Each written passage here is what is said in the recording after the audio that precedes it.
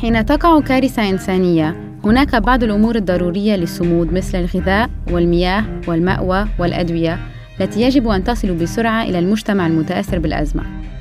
ولكن هذه ليس بالأمر السهل والبسيط. على الرغم من التحديات العمال الإنسانيون حاضرون دائما لدى وقوع أي كارثة.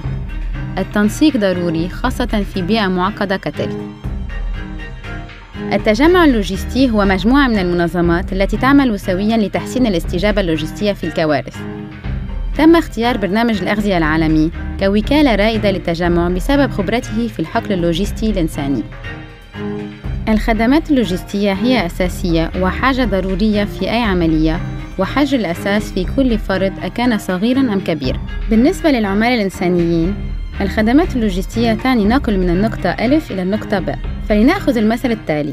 هذه المنظمة هي بحاجة إلى نقل مواد طبية إلى هذه العائلات يجب أن تنقل هذه المواد الآن ولكن سائقي الشاحنات في المنطقة قد هربوا من المنطقة والشاحنات المتبقية قد أخذت ولا يوجد وقود متبقي. كما أن الأمطار والسيول قد جعلوا الطرقات غير سالكة. الحدود مقفلة بسبب استمرار القتال والسفن لا تستطيع دخول المرفأ. على المنظمة أن تترك مساعداتها هنا في الوقت الحالي ولكن أين بإمكانها تخزينها؟ وكيف بإمكانهم أن يقوموا بإبلاغ باقي المنظمات بهذه الموانع بسرعة؟ التجمع اللوجستي يقوم بتأمين الشحن للمواد الطارئة عبر البر والجو والبحر والأنهر عندما تكون المنظمات الشريكة بحاجة لذلك.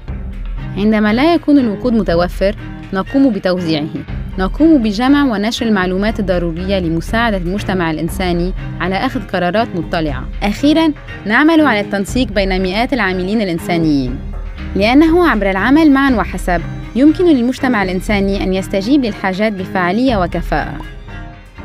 عبر الدعم بالخدمات اللوجستية بطريقة سريعة ويعتمد عليها، وبالمعلومات وبالتنسيق. يضمن التجمع اللوجستي أن يكون للمجتمع الإنساني القدرة على إنقاذ الأرواح.